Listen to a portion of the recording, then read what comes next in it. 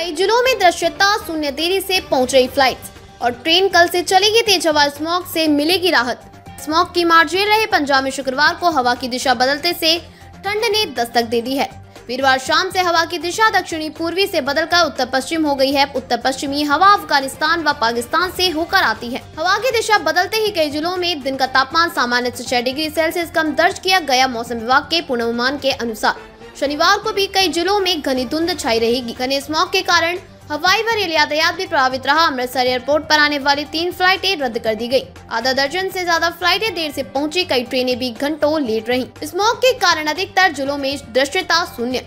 रविवार से हिमालय के ऊपरी हिस्सों में पश्चिम विक्षोभ सक्रिय होने से तेज हवाएँ चलने की संभावना है। उसके बाद स्मॉग से राहत मिलने की संभावना है। रविवार को ठंड और बढ़ेगी। छह दिनों से पराली पर प्रदूषण के कारण स्मॉग की चपेट में चल रहे पंजाब में खराब स्थिति बनी हुई है। शुक्रवार सुबह घने स्मॉग के कारण अधिकतर जिलों में दृश्यता शून्य रही। एक क्यूआई भी 400 के पार रहा। शुक्रवार को राज्य में दो सौ अड़तीस जगह पराली जली सबसे अधिक 119 मामले सीएम के ज़िले सांगरूर में सामने आए। आधा दर्जन से अधिक फ्लाइटें देरी से पहुँची। इसी के साथ राज्य में पराली जलाने के कुल मामले सात हो गए हैं। घनी स्मोक के कारण हवाई व रेल यातायात भी प्रभावित हो रहा है। अमृतसर एयरपोर्ट पर आने वाली तीन फ्लाइटें रद्द कर दी गई हैं। आधा दर्जन से अधिक फ्लाइटें देरी से पहुँची कई ट्रेनें भी घंटों लेट रहीं। स्मोक को असर हवा की गुणवत्ता पर भी दिखा।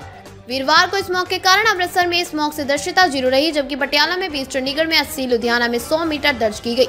अब तक किसानों पर एक दशमलव तीस करोड़ किया जुर्माना। सुप्रीम कोर्ट की सख्ती के बाद प्रशासन की तरफ़ से पराली जलाने वालों किसानों के खिलाफ कार्रवाई जारी है। अब तक तीन हज़ार आठ सौ छियालीस मामलों में एक दशमलव बीस करोड़ रुपए जुर्माना कर सत्तानवे दशमलव सैतालीस लाख रुपए की वसूली की गई है। तीन हज़ार आठ सौ बयालीस किसानों की जमीनी की भी रेड एंट्री भी की गई है और चार हज़ार सत्तानवे किसानों पर एफआईआर भी दर्ज की जा चुकी है।